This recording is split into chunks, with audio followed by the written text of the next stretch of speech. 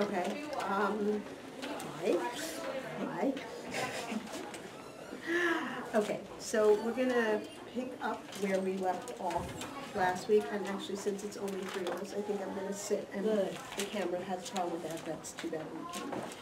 Um, and, and what I wanna do today is I want to spend some time and portion of time on the names and, and how these names evolved and how these names reflect where the mothers were.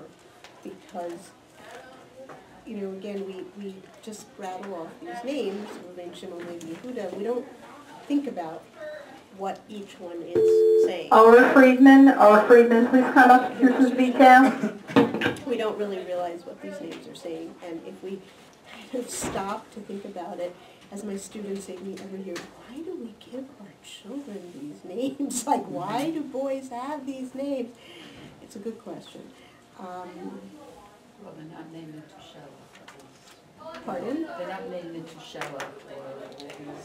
Okay, but Metushelach actually isn't such a bad name. He lived nine hundred and sixty-nine Yeah, years it's a very, big mouthful for kids to pronounce. Right, but so is, you know, these people like, uh, you know, David Yitzhak or Oh. something. Okay. Yeah, Um, yeah, that's why I, I was going to, my son who was born, whose name is Ruben, he was born after nine years of infertility treatments, and so we figured, okay, we've got one shot Dr. Knapp, please call the front office. Because we didn't think we were gonna have any more, and we had, I had my father and both grandfathers, and my husband who had a great uncle to, um, who never had any children. So it was four names, it would have been Reuven, Eliezer, Meir, Mordechai. I'm like, okay, I really have compassion, number one on the child, but number two on whoever has to, you know, making a atara for him, or whoever has to give an aliyah to the Torah, like, it's just like the aliyah is gonna be over before they say the mishmer. So we stuck with three names, um, and Reuven Eliezer Meir, and his English name Mark is for my, is for the other grandfather, the Mordechai, who is Marcus. So it gets, you know, and at least we only call him Reuven, but I do know people who. Dr. Knapp, Dr. Knapp, if you're in the building, please come up to Anyway, so Mrs. let's, um, Dr. let's, Knapp. let's get into the names here.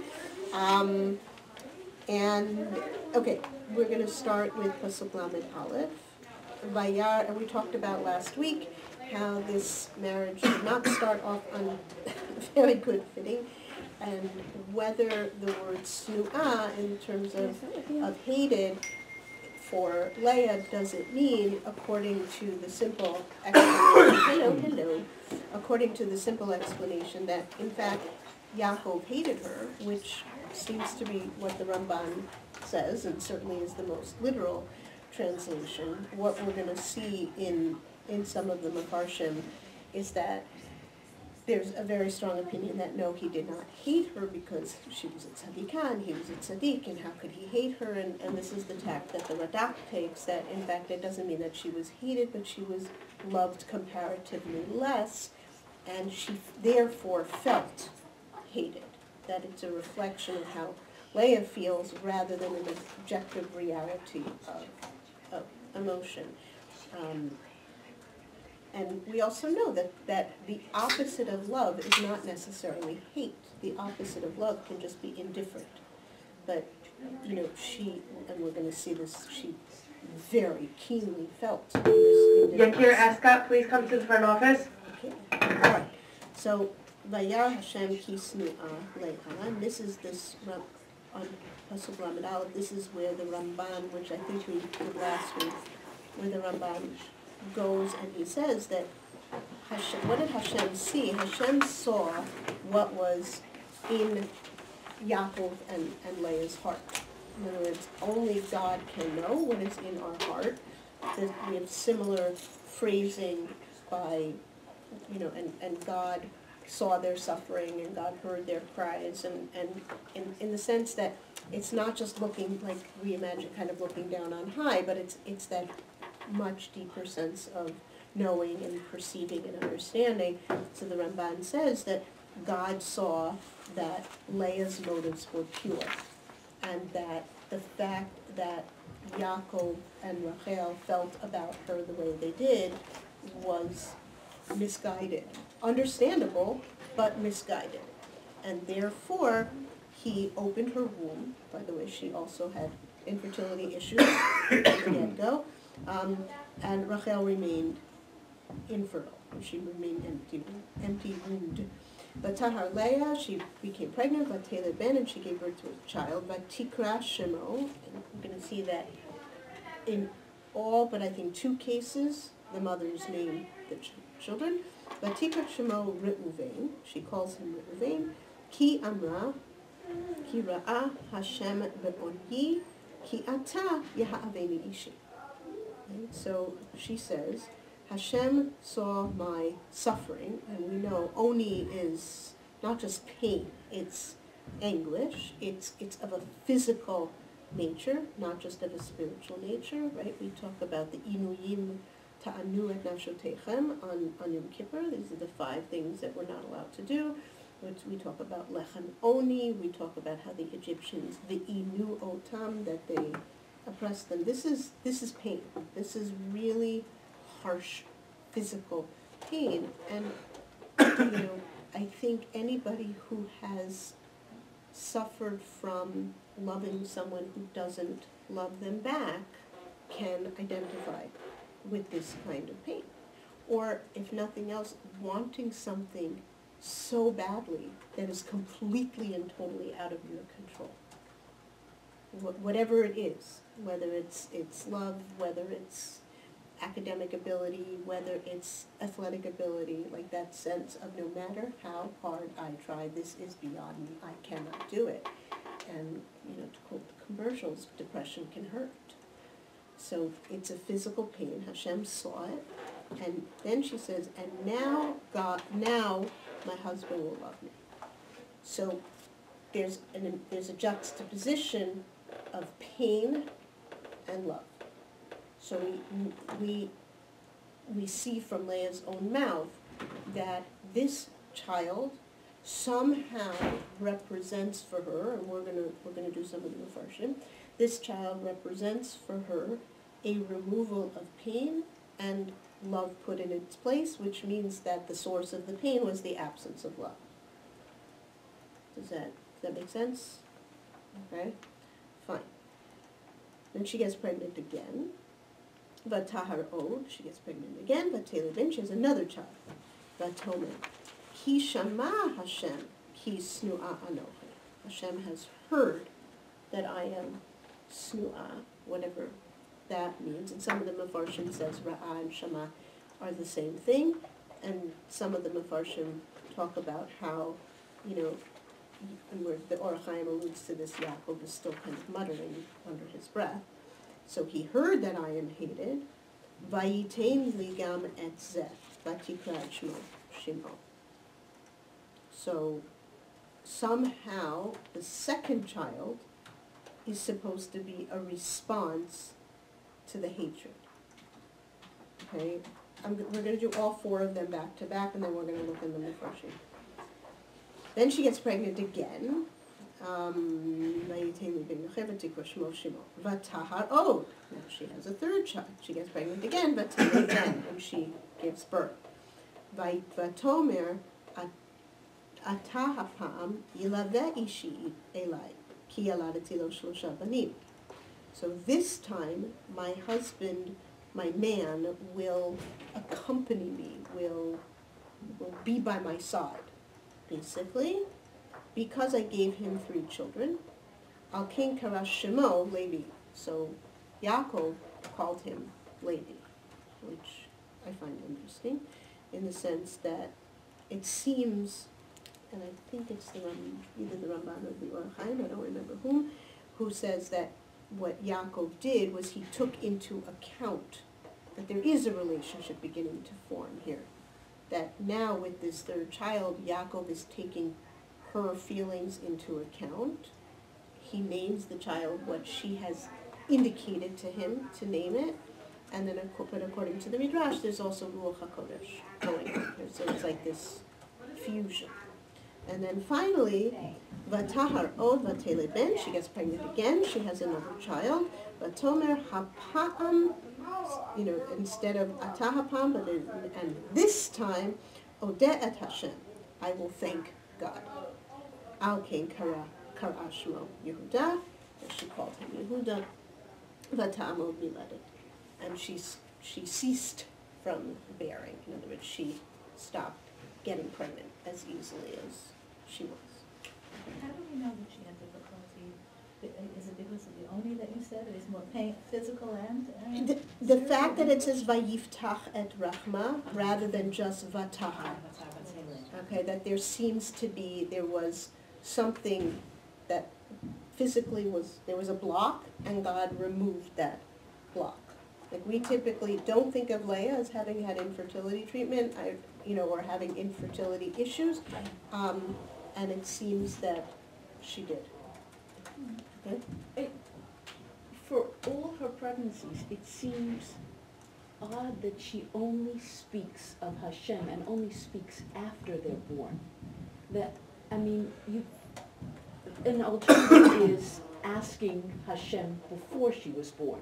You know, that with Yehuda, with Yehuda, where she recognizes um, Hashem. So there's that, there seems to be that, um, I don't know, kind of disconnect between, as opposed to Rachel, who we kind of, I, I don't know if it's textual or the image that we have of asking Hashem before.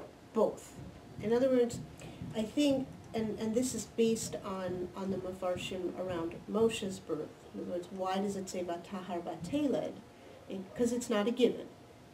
You know, it's not a given, and it certainly wasn't a given then, that just because you got pregnant, you would give birth, and just because you would give birth, that the child would, would survive. That's why even in modern halacha, we have, a we have a halacha which I don't know how its evolution, but the halacha is that before a child is thirty days old, one does not have to sit shiva for that child, okay? Um, because e- the, at that point, children weren't considered viable, and we know that in, in, even until maybe fifty years ago, child mortality under the age of six was huge. So I, my response to you would be the fact that she doesn't name him, name the child or doesn't acknowledge God until that child is born and healthy in her arms. But then the first thing she does do, as opposed to Rachel, which, when she finally, you know, has that child, is she recognizes God. When we get to Yosef, which I don't know if we're going to get to today, but we get to Yosef, we, we see that there's a big question around what is Yosef's name and why is he named that. Okay? Other comments before we dive into some of the Mepharshim here? Does everyone say that Yaakov named Levi? Well, the Pasuk says, but it's not, it says, Al King Harashmo Levi. And the Ramban The male, the grammar is male? Yeah, therefore he called his name, as opposed to in all of the others, it's she, it's Kar'a, or Vatikra, and she called as opposed to Vayikra. So the gram, the text itself says that he referred to him, and one of the Mefarshim that I went through says, you know, and, and there is a reason why Yaakov was the one to give the name to Levi and to Binyamin, but I will explain it anon, and I didn't get to the anon yet. So, okay, so you have, you have your sources in front of you, and what I try to do is, is organize things chronologically more than, more or less. Um, so, so we're gonna start with the Radak, with David Kimchi, um, who lived in the, I say ten hundreds? Um, oh, he's the one I always forget. I know he predates the Ramban, because the Ramban quotes him a lot. So he's, he's, so the Radak, and, and the Radak is, is an interesting, we associate, typically associate Radak with Navi, because that's kids learn Radak. Um, but the Radak was an early Parshan, he was from Sfarad rather than from Ashkenaz, and he, while he paid very, very close attention to the text, he tried to kind of get a little bit into the psyche under the text, which I just find really fascinating for, for somebody writing a thousand years ago. So on Pasuk Lamed Bet, when, when Rachel, I'm sorry, when, when Leah names Reuven, right? Um, when he, when she says, Ki ata yehaveni ishi, now he will love me, and I even underlined it for, for you, ke. Because he's the one who says that she was the one who felt hated because she was less loved. So if you say that Yaakov loved Leah, then what do these names mean? Right? So he's saying that according according to the Radak, what Leah is saying is, is that now he will love me. What's the definition of love? The degree of feeling he has for my sister. Um, and and he then continues, right? In in Lamed Daled, similarly, he says, "V'haya nilva la'ahavati yoter me'ahavat achoti, ki aladati lo shlosha b'nim." So now that I he has, now he loves me as much as my sister, and now hopefully he will come to love me even more. Like he will literally lean towards me as opposed to towards my sister. Um, so we see in in Leah through the eyes of the Radak, there is a, an internal sense, at least for now, growing confidence. And then, um, and then, oh, he's the one who's the one who says that that it's Le- that he named Levi, which and he says in the first first line, if Shar Gam came, he says, um, I'm sorry, Al Ken Karash Shemo Kima Amar Leah, right? Ki Samach Beholido, he was happy with his his Levi's birth, which kind of there's an underlying implication which makes me very sad. Um, ואפשר גם כן שראה בנבואה כי בני לוי יהיו עבדי השם ומורי התורה ויהיו נלווים אל השם וזה יהיה נחלתם. right? Um, וממה- וממאמר אשתו וממה שראה בנבואה קרא שמו לוי. That, that this name was a name that was given to effectively by both of them. and then finally with Yehuda, ve'oda et Hashem, ein li ella lahodot u'lishavcho shenatan li yoter mima shebakashti. And what the Radak here is alluding to is this, is, is one of two things. One possibility is the famous Midrash that the four women, or at least Rachel and Leah, knew that Yaakov was destined, as well as Yaakov, was destined to have 12 children. The assumption was each one of them would have three, so that Leah, once, once she had more than her share of three, then, um, then she was happy. That's, that's on a very midrashic level.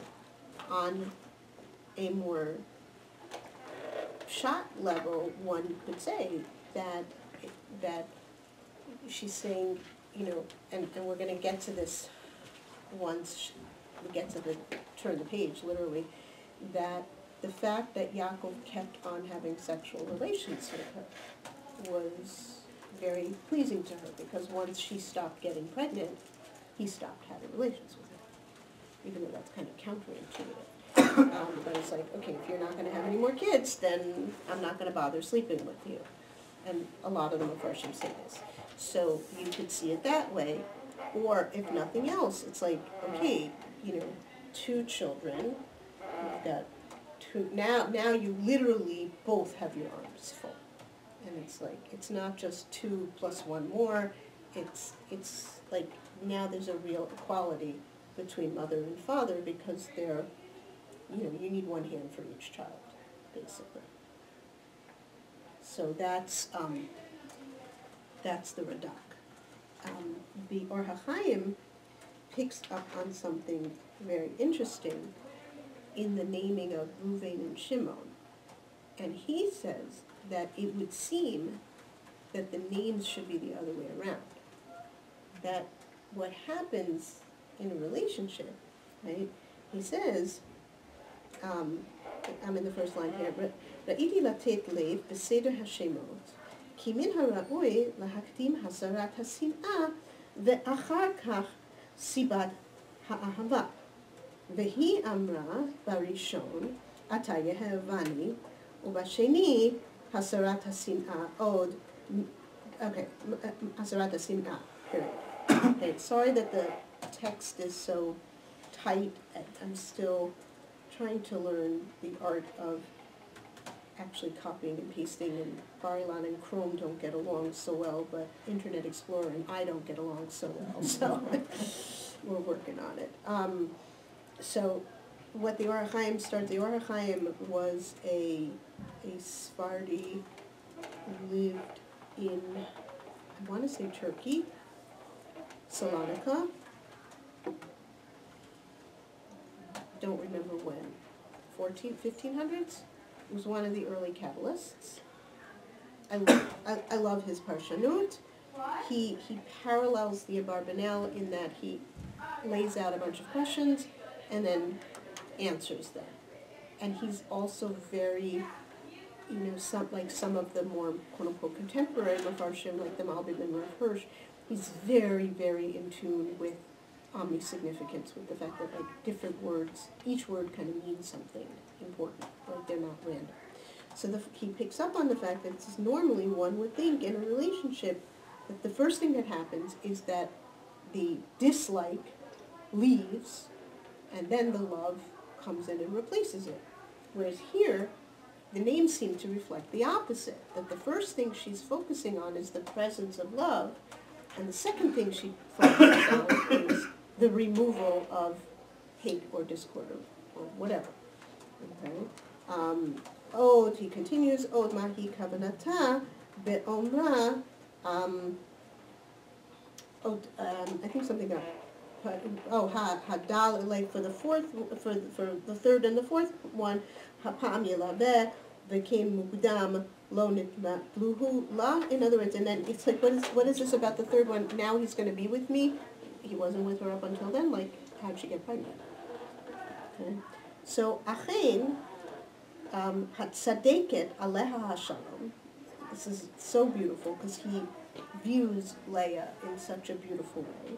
He says that this this this righteous woman, aleha shalom, litzad shekatam kadam la hama'amar she'alav um, chalta be'eneha, ki hi chalko shel Esav, והגם שראתה שנשאת ליעקב אין דבר זה מצדיק בליבה, um, כי היא בת So it says as follows, that the first, what Leah is worrying about is the fact that really she's supposed to marry Esav.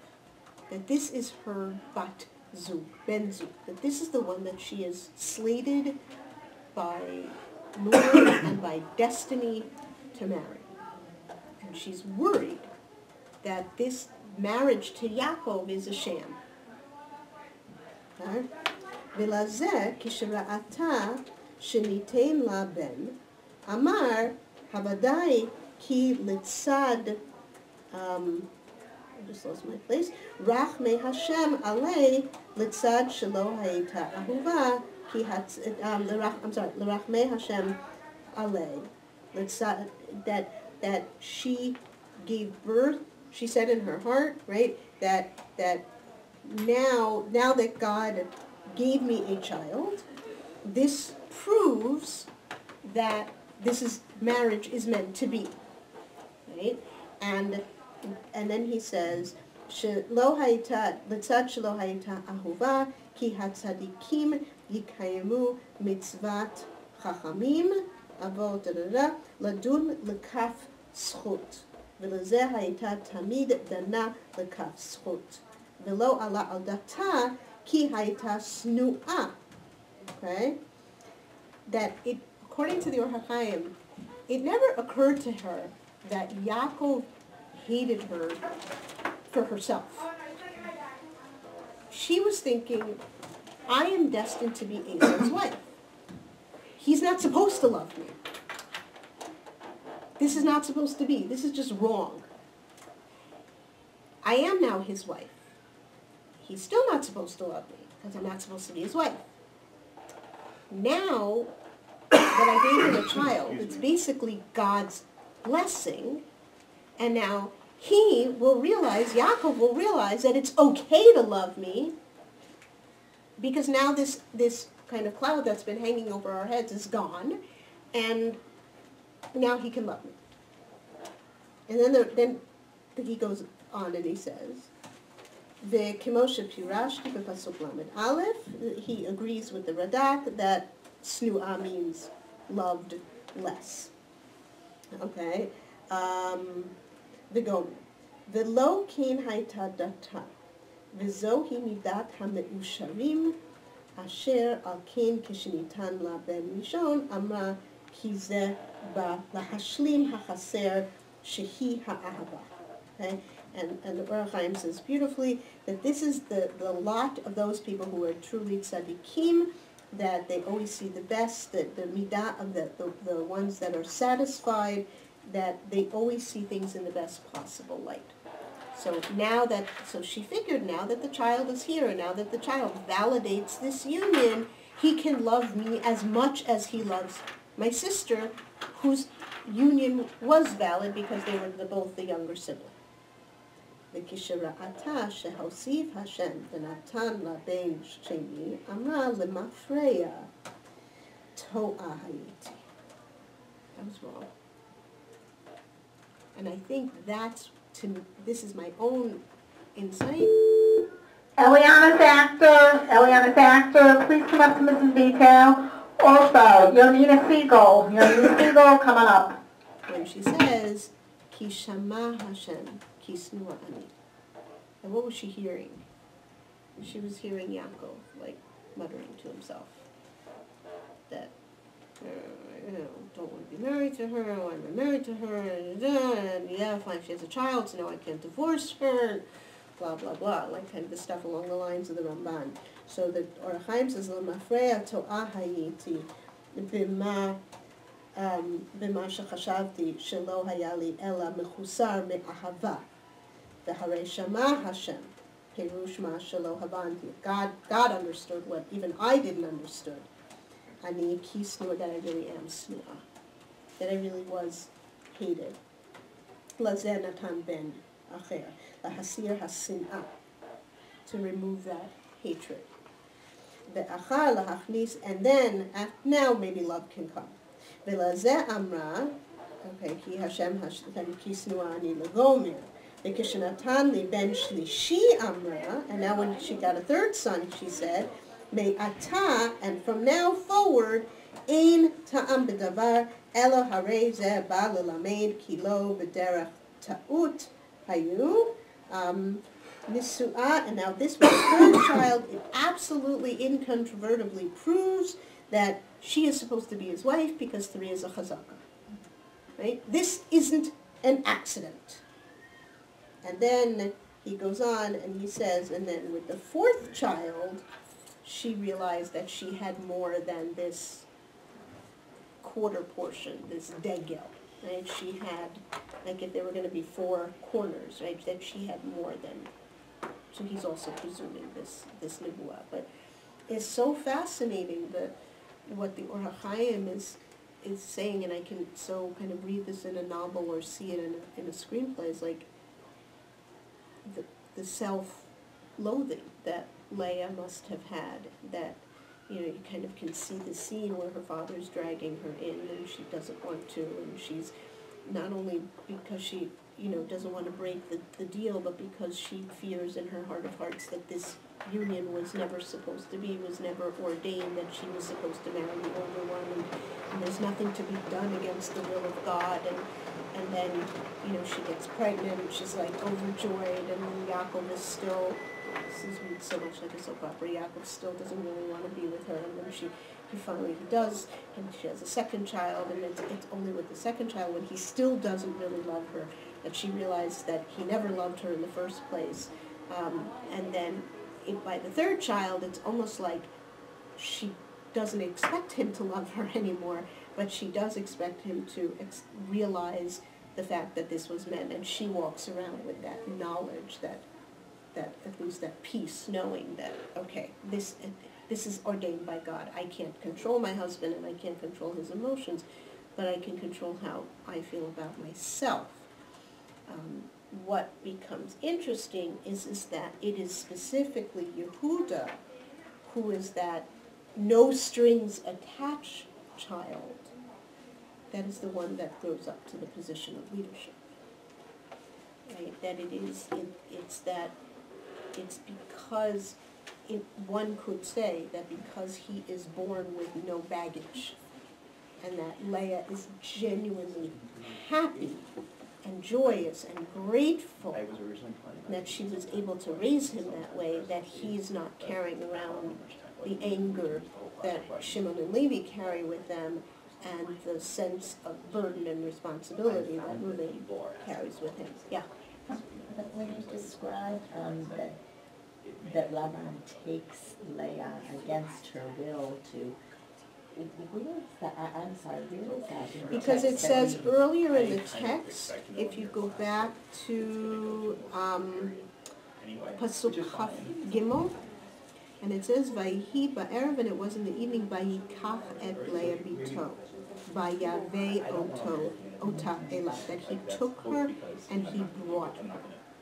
And, And even afterwards, like Love explains to Yaakov, saying, we don't do it that way. We give the, Like, there's a certain. right, and, we and marry off the oldest first. oldest, that this is the way it's done. And the word Vayikach, um, means with some kind of pressure, whether it's We'll see how it physical force, I'm telling you, I persuasion, won't answer any monetary force, and then the vayave, he brought, you know, that that's clearly not, it's not, it wasn't vihi ba'a elav. So, so what you're painting is a picture where she understands that maybe this was against God's will as well, and then she becomes convinced of it. According to what the Or HaChaim is saying, that, that's what she's maybe thinking, whereas as Radak and, and the Midrash puts it forward that more that she, she desperately believe, wants to be with this tzaddik, and whether it's God's will or not doesn't necessarily enter the picture, but the Ramban certainly says that her desire to be with the tzaddik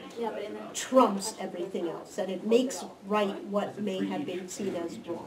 But does it not occur to her at any point that the hatred that she feels, the lack of, the lack of love, the hatred that she feels, that it's because she was involved in tricking Yaakov? In other words, that. No, according to the Ramban, she definitely, she, whether she knows it or not, that's certainly how he feels. According to the Ramban, the reason he hates her is because she duped him. Right, but, then- but none of these seem to. to- Correct, these, to- these to- to mafarshim do not, Because that would be the correct, simplest explanation. right. Um, Except that you could also, I'm just kind of thinking out loud here, is that you could say that Lavan could have said to her, you will consummate this marriage.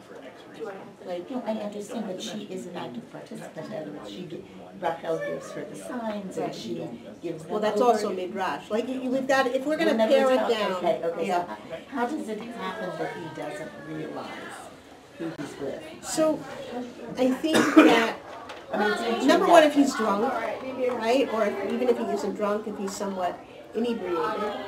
Number two, it was dark. Number three, they didn't, the, the, the norm was is you didn't speak. Um, if they were of similar build, whatever, it, it does strain the imagination, particularly the way we think about marital intimacy now, but it's not impossible. It's not impossible, and, you know, we also don't even know how much contact did Yaakov and Rachel and Leah have during those seven years. Like, just because they lived in the same clan and the same household doesn't mean that the girls weren't veiled, mm-hmm. And sequestered and so. right? We don't like, and that's the whole thing with Tamar when it says that she took off her widow's clothes and she put on her, her veil. Was that because that's what women wore when they went out, or did she specifically put something on to disguise herself? And you could say, how did Yehuda not recognize his daughter-in-law who had already married two? Right, I mean, you his would sons. think he would have Right. known her. And the Midrash actually says that, that it's because she was veiled even in his house. Like, so it seems to be that this, you know, what we think of as the classic Arabian you know, I'm not talking about a, um, a burqa, but even this idea of you wear a veil and your face, like, that might have been normative dress though, nothing else, just to keep, protect you from the elements. Why didn't, um, why wasn't she married to Esav before? She's the oldest and he's the oldest. Good question, I don't have a good answer. That's a, I He mean, could have unless he married was, her off first, then he wouldn't have the. correct, unless he was just like, it's possible, and again, I'm thinking on my feet, is that just like Abraham sent Eliezer to claim Rivka, right? It's possible, would make a lot of sense that Bethuel was waiting for Yitzchak to send for Leah and Rachel for that matter to marry his sons. So it's it's possible that he might not have thought that Esav was even alive anymore. That, you know, it, we, we don't we don't know what the degree of communication was, but precedent In other words, he just showed up, so. Right, he just showed up, so what, how did they, you know, and then he tells him what happened. Now, once Lavan knows what happened, why then does he not send word to Yitzchak? Again, that's a little bit unclear, which is what leads the Midrash and, and the Gemara to talk about how this is all divinely planned. Because if, again, if you start thinking about it just in terms of rules of communication, over the course of seven years, there had to be a way to send a message to Yitzchak saying, um, hi, we have your younger child here, you know, we have a bit of a situation, we need the older one, and, and he doesn't. Also, wasn't Esav, by this time, he had already married, remember? Two, uh, two other women, Yeah. yeah. And right. it says that that was an aggravation. Bailey Jacobson. Bailey, come up here. She convinces Yitzchak to allow, to send Right, Yaakov. and then, A- but then it even strengthens this argument because afterwards Esav has, it says in the text, right, Esav feels bad that he is causing his parents aggravation, and he goes ahead and he marries one of the sons of Ketu- the daughter of Keturah, right? So one would think alachas kama v'kama, that, you know, Yitzchak knows that Rivka's brother lives in Haran, like, why, there are a lot of holes, there are a lot of question marks in this story in terms of what's not written. Um, and I think, you know, I just keep going back to the fact that the Midrash seems very much to feel that there is a divine hand in this because otherwise it doesn't make sense. It just doesn't work. But at a simple level, could we also think that Lavan said to uh, Yaakov, where, what's the story with your older brother? And he said, he's married to Macha, whatever those, the, like, didn't he marry a woman from but- Egypt or whatever? And Lavan So said, then I Lavan may have given up on that plan and then said, now what? Now I got these two daughters, one viable man, and went ahead with his Very possible. plans. Very possible. Okay, um, you know. All right, we're gonna turn the page. Next section of the story. Okay, so she stops giving birth. Now we're in Paragrama. I think it also means that we turn the page and associate. What am I thinking, getting through five pages of associate? That's so funny. Um, okay, we're gonna skip the Malbim. Um, Vatikane Rachel. I'm sorry. רחל, Rachel kilo yaldali Yaakov ותקנא Rachel לאחותה. Um, so she sees that she doesn't give birth and she's jealous of her sister. Um, and Rashi says straight out here in Perek Lamed because Rashi, who tries very hard to not condemn the Avot and the Mahot unless they are condemned um, it's just ותקנא רחל באחותה, קנאה במעשיה הטובים. כי אמרה, אילולא שצדקה ממני, לא זכתה לבנים. Um, you know, this concept that children are a, are a direct indication of moral value, at least in, in her mind. Um, Whereas the Radak says a little bit differently, Kan'a b'davar shira'ata um, shira'ata la'achota sheyalda arba bani. That makes a lot more sense. Liyako v'hi lo yalda. Right? That, that makes, that's a lot simpler and closer to the text. Um, and and then um, Malbim 19th century, goes ahead and says that, that what does it mean by Terei Rachel? Rachel Chashva, um, Shema Shelo Yalda Eina Besibata Rak Besibat Yaakov. So at first she thought she's not giving birth because Leah also didn't give birth, so maybe it's not her, maybe it's not Leah, maybe in fact it's Yaakov. Al Amra Lo Yalda Yaakov. Right, that she didn't give birth for, for Yaakov. The Kvar Katvu Chachamei Hateva שאהבה היתרה תמנע ההולדה לפעמים. That sometimes extreme love can impair fertility. Which is, I mean, this is a 19th century person writing. It's it's an interesting thought, but if you think about it um, biologically, extreme emotion messes with hormones, and you know because it raises adrenaline levels, and then everything else starts going off whack. So it's not as crazy Victorian romantic pseudoscience as you might think it is. Just putting it out there. או שחשבה כפי מה שכתוב למעלה, שהוא עניין השגחי, that this is some kind of divine, um, מסוב, some, some divine providence, מסובב גם כן מרוב האהבה, that also somehow involves this, this extreme love that Yaakov has for her. Um, כמו, that's, that, וכמו שכתב, וירא השם כי שנואה לאה ויפתח את רחמה, ולכן ותקנא רחל באחת um, באחת הדברים. Okay, באחת הדברים, I'm sorry. I'm sorry, I just said ba'achotah, my bad, okay? Ba'achotah, ki chashva tov hayala shetiyahi hasnua pilvad shetele banim. I would rather be the snua because then I'm going to have children. The alkin amra le'yakov havali banim ki um, like she realized once Leah started having children that it's not Yaakov. So what could it be? So what's the difference between me and my sister? It's not my husband's fertility, because she has children. So maybe it's the love that my husband has for me that somehow is messing with his sperm, whatever, his ability to reproduce when he's with me, and then you know, or maybe it's some kind of divine thing that Ya- that Hashem is giving Leah children because we all know that Yaakov loves me better than her. So you know what? I would rather be less loved and have more children. Yes. In- In many of these commentaries, um, both Leah and Rachel are very spiritual people, and they attribute what is happening in their world to God. Yes. How, growing up in Lavan's house, does that happen?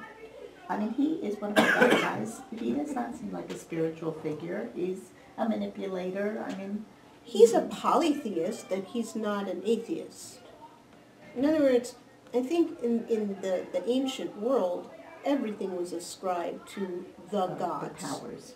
The difference here is, is Uh-huh. that it is, they now have come to the realization of the one God who controls everything else. Okay. Um, but that's, in and of itself, is not a weird concept. Mhm. Okay? So, and, and I, as I said, I think last week, the only conversation that we ever hear between Yaakov and Rachel is an argument, which is kind of sad.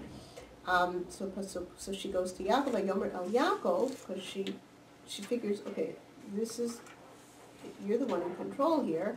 Hava li banim ve'im ayin. Give, give me children, or, or bring to me, or provide for me children, and if not, then I am dead. And there's lots of debate about what that means, and you know, that somebody who's barren is like dead, or I will kill myself, or I feel like a dead person, but she's clearly pinning it on Yaakov. Um, and, and we're gonna do the Ramban, but basically, you know, the justification for her going to him is, you know what? Your parents also didn't have children, and at the end of the day, God listened to your father right? They were both davening, and, and Hashem listened to Yitzchak, and Rivka got pregnant. So if we don't have children, clearly you're not davening hard enough. Like, this is your fault. Whether it's genetic, whether it's biological, whether it's love, whether it's feelings, whatever, this is, this is about you. Clearly, you're the one who can control who has children and who doesn't. Vayichar af, right? Yaakov gets angry. And he says, Hatachad Elokim Anochi. He gets angry, birachel. He, like, not just at, but like really deeply. Vayomer Hatachad Elokim Anochi. Am I in place of God? Ki manam mimeni pribet, I'm sorry, ki manam mimech pribeten, and wow, does that mean? The mimech. Like, that's harsh. He's angry. Right? Um, you know, Rachel, may I remind you that you're the one who seems to have the problem here, not me. This is about you. And the Ramban beautifully explains this, this interchange and why it's so heated and, and passionate. Um, and he says, um, the Alderich Apshat, okay, go down to the second paragraph. Alderich Apshat Amra Rachel Yaakov, Sheitain Labanim, Ube'emet da'ata lemur sheyitpalel Okay, so that he should, he should daven for her. אבל שיתפלל um, עליה עד שייתן לבנים על כל פנים. ואם שתמיד עצמה בצער. Okay, so according to the Ramban, she is threatening suicide. Saying that if you, if I, you have to daven for me to have children. Now, she's not demanding, give me children. You have to daven, you have to make sure that I have children because if not, I will kill myself. Dibra shelo kehodken. She spoke inappropriately, bikim ata, and in her jealousy. V'chashva ki be'ahavato ota yit yit yit'ane Yaakov yilbash sak be'efer v'yithalel ad shiyula banim shelo tamud b'tzara. And she thought that, you know, she basically is manipulating Yaakov. And because he loves her so much that he's going to wear sackcloth and ashes and daven until God, in fact, listens to him, like Choni HaMa'agel. Right? Vayichar af Yaakov and af Yaakov, Yaakov got angry, she'in tfilat tzadikim biyadam, shedishma. That uh, v'tana, it's not in their hands that their tefillos be answered. I'll call panim. U ba'avur shedibra derech ga'aguei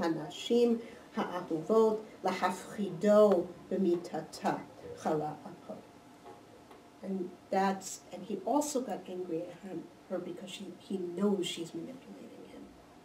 He knows she's making these, I don't know if idle threats, but irrational threats. And therefore he gets angry at her. Like, don't play with my emotions. Right? That's, that's basically what, what he's saying. Um, and then Or HaChaim adds a slightly different spin to it at the bottom. Vayichar af והטעם לפי שהוציאה מפיה דבר קללה, שאמרה מתה אנוכי, ודבר הצדיקים אפילו בסדר זה יעשו רושם. And like, and he was scared. like, Al tiftach pe'el satan, exactly. She's a tzadikah. what she says has weight, and it's like, oh my gosh. So he's reacting. It's that like, you know, that gut sense, like when you all of a sudden you turn around and your kid is missing, and then you find your kid, and the first thing you do is scream your head off because you're so terrified. Oh my gosh, what would have happened? Kind of thing. And then you calm down. That's his, according to the Or HaChaim, that's his reaction. Like, if something happens to you, I'll die. So, yeah, once again, this is not an auspicious beginning, um, but she does hear him. And we hear that she hears him in what happens next. She, first of all, she doesn't answer back. So what she does say is she says, Hine amanati bilha bo emahava taled al. She pulls a Sarah. And she says, you know what? Okay, I'm going to do my hishtadlus. I'm going to do what my what, what your grandmother did. ותיתן לו את בלהה, שפחתה לאישה, ויבוא אליה יעקב, ותהר בלהה בתלם, ויעקב בן, ותאמר רחל, דנני אלוקים, וגם שמע בקולי וייתן לי בן. Al כן קרא שמו דן. And the Ramban here explains, he continues his explanation, and he says that she, being the tzadikah that she was, took the musr, and number one, she did something about it because having children is not just dependent on the man, it's a two-way street, so clearly she had to substitute another female for herself. And number two, she did daven. And we know that she did daven because she says, God heard my prayer. And that, that in a way, this is what makes Rachel the tzadikah that she was, is that she she hears the Musar where it's given, and instead of getting angry back, she puts her head down and she says, "You're right, I was wrong, and now I'm going to fix it," which is what Shuva is. and then finally, they have another child. She has um, Ben Shemina Yaakov, Naftule Elokim Naftalti. Um, big machloket about what these words mean, but we'll keep it kind of simple. That one possibility means is that God, God has tied me, like patil is a string, or naftule elokim naftalti means I have begged God beggings. Based on two different sources. If you want, you can look in Rashi. Um, Im achotis, either I'm tied with my, now literally tied with my sister, or I have begged God because of my sister. Um, Gam yaladatan, yalad, yacholti, now I have overcome, and she called him Naphtali. So basically, Naphtali means like, um, we're even, or, you know, you can't push me around anymore. You being God, Yaakov, Leah, whoever. Um, so that's done and Naphtali, who don't get much press after that. So I think we're gonna stop here. I apologize for stopping a little early. As I said before, I realized literally at one minute to one that I had forgotten to do something for my next class, which I need to do. Um, so next week, we will, um, get through the dudaim. Fun story, fun story. Um, if you can, if those of you who have access to Tanakh or to, you know, phone, whatever, bring it next week, because we're gonna take a quick look at the story of Avshalom. Um, because when we look at Reuven, we're also gonna look at Reuven and Bilha and the bed and what all that meant and poor Reuven. Really, his heart is in the right place, and he messes up a lot.